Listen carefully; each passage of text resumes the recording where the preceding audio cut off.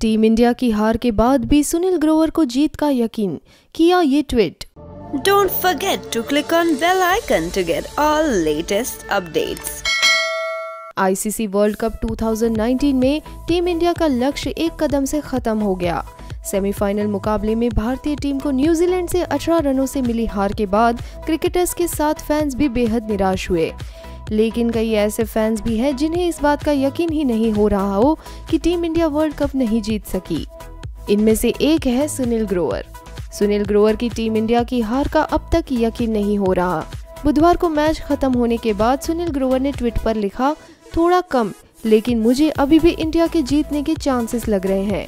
नए रूल के हिसाब से कुछ तो होगा कि फाइनल में बारिश वारिश हो जाए।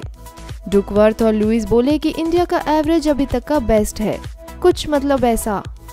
सुनील ग्रोवर के इस ट्वीट के बाद उन्हें कई यूज़र्स ने सांत्वना देते हुए जवाब दिया कि, सर, ऐसा नहीं हो सकता। होता तो क्या बात थी? आप इस बात पर यकीन कर ले कि हम हार गए हैं।